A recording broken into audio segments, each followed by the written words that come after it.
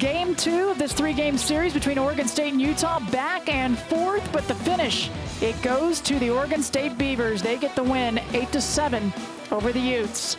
I'm Krista Blunk here in Salt Lake City, and it was a solid game on both sides. But Hope Brander, she had the big bat tonight, a two-run home run in the third inning. And the Beavers, they go up 3-0 in this one. In the fourth inning, Bats still going. This time, Ariola, the senior, a triple.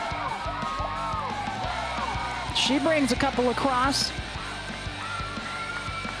Good speed by Ariola, safe at third. But the Utes, they also had the bats going. Heather Bowen, she brings in three runs. They had a big time fourth inning. Five runs for the Utes, and Bowen, she brought in three of them. And they go up in this one 6-5. But then key hits, Schaefer, the base hit, bringing her teammates around,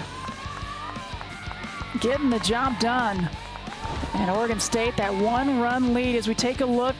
Meehra Nelson, she's the winning pitcher tonight. And you see the numbers for Hope Brandner. Haley Hilburn, she came in late for Katie Donovan, the senior pitcher.